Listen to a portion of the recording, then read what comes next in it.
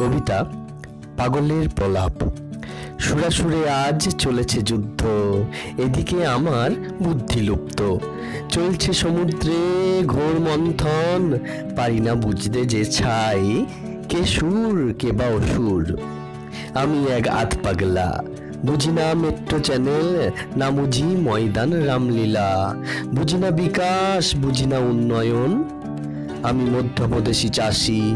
আধার card সঙ্গে রাখি না বাপ দাদাদের অস্থি করটি রাখি। আমি এটিএমে দাঁড়ানো, নেট বন্দিতে বন্দি বৃদ্ধ।